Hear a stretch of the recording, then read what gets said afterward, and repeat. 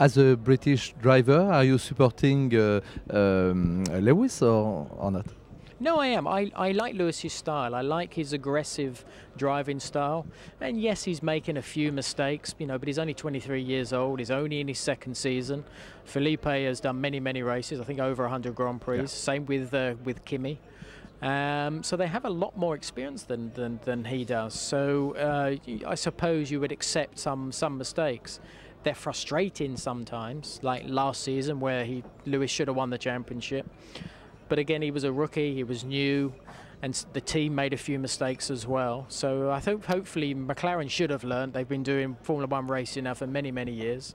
But Lewis has, you know, has got to get that experience. So I hope we don't see the mistake he made in uh, in Japan this year, for example, which was a very strange, I think, a very strange thing to do with the championship as it was, and then to, to try and get back Kimi and go off the circuit, penalties.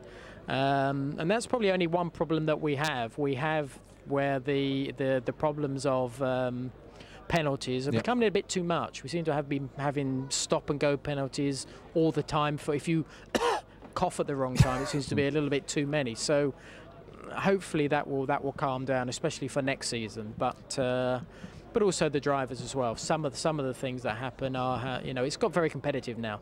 So you know, they just making it a little bit more difficult for themselves.